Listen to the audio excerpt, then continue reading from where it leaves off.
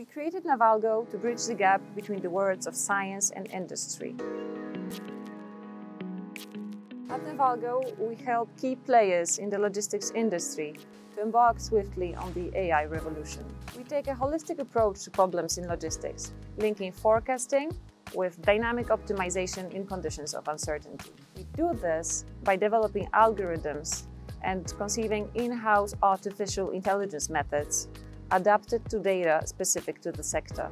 A sector where data is so fragmented and limited that the term big data simply does not apply.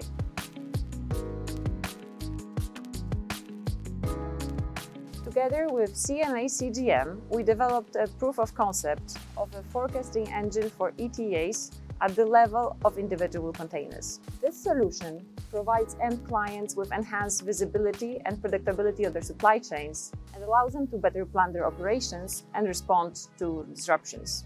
We also work with DB Schenker on giving meaning to data from IoT. The question here is simple. We want to know what's happening to the shipments at the given moment in time.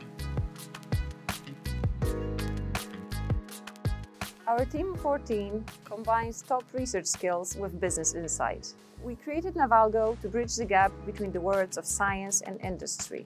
It emerged from a meeting of like-minded individuals who wanted to make science useful and who wanted to make an impact globally.